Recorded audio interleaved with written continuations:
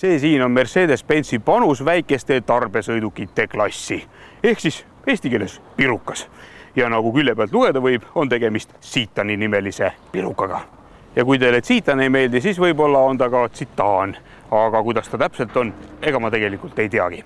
ma tean ainult seda, et midagi nendes väikestes kaubikutes on, mis mulle hullupööra meeldib tõenäoliselt on just praktilisus see, mis äh, mulle nende autode puhul meeldib ja kui te lähete seda autot endale ostma, siis ei piirdu teie valik ainult sellega, mida te siin näete, vaid neid valikuid on veel.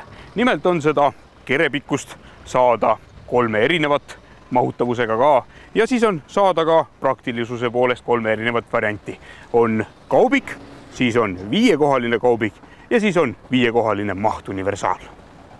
aga vaatame talle siis natukene otsa ka kui see auto teile kuju poolest äh, natukene tuttav tundub, siis äh, te olete õigel teel, sest platvormina on kasutatud Renault Kangoo'd. lihtsalt selle vahega, et ta on nii välimuselt kui ka sisemuselt natukene muudetud ja välimuselt peab ütlema, et ega siin kahtluse momenti jääda ei saagi, et tegemist on Mercedesega. ja kui me selle auto tagant lahti teeme, siis vaatab meile vastu see, mis igast kaubikust vastu vaatama peabki. kaubaruum äh, kõige suuremale versioonile annab siia sisse panna kolme koma kaheksa kuupmeetri jagu igasuguseid vajalikke asju ja kandevõime on kaheksasada ja nüüd jõuame välja selleni, miks see auto mulle meeldib. mulle meeldib see sellepärast, et siin on sees ruumi ja nendes kõikides pirukates on sees ruumi. näiteks kui teil on lapsed ja te peate iga natukese aja tagant panema siia lasteistmed või siis need ära võtma, siis siin te saate seda kõike ilusasti teha, ilma et te peaksite siin kuskil roomama. teiseks on alati huvitav, kui on võimalus läbi auto käia nii teil endal kui ka teistel mootori valikuks pakutakse kolme erineva võimsusega diislit, milleks on siis ühe koma viiesed, viiekümne viie, kuuekümne kuue või kaheksakümne ühe kilovatine. ja siis on ühe koma kahene bensukas, millel on kaheksakümmend neli kilovatti ja mis kannab endas tähist Blue Efficiency. mis omakorda tähendab seda, et keskmist kütusekulu saab mõõtma hakata juba neljast koma kolmest liitrist sajale ja näiteks bensumootorile tuleb start-stop süsteem standardina kaasa.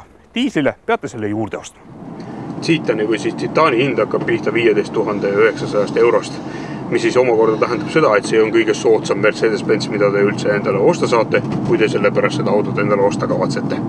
aga äh, nali naljaks, äh, tegelikult on see äh, sõitmise jaoks väga mõnus auto. ennist see mahutavusest tulenev praktilisus ja, ja mugavus on kindlasti üks asi, mis on suur pluss ja, ja teine on see, et tegelikult näeb see auto üsna üsna tore välja ja sellega on väga kihvt sõita ka.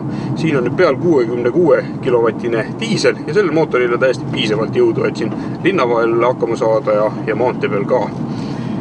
Ühte asja pean veel ütlema, kui tavaliselt on kaubikud sellised, mis kipuvad seest hästi kõvasti mürisema või seda teemüra natukene palju autosse sisse tooma, siis see on pigem sellise vaiksema klassi auto, aga negatiivse poole pealt pean ütlema seda, et see armatuur on siia ette sattunud kuidagi selline suhteliselt üksluine ja, ja niisugune tume massiivne asi, et, et siin ei ole nagu grammigi peale selle rooli sellist Mercedeslikkust, et, et noh, kuidagi oleks võinud mingisuguse väikese eh, Mercedese puute siia sisse ikkagi panna, oleks olnud natukene ägedam. aga muus osas ei ole sellele autole midagi paha öelda, et kellel huvi on ja, ja kes tahab just Mercedese kaubikuga ringi sõita, siis nüüd on teil see võimalus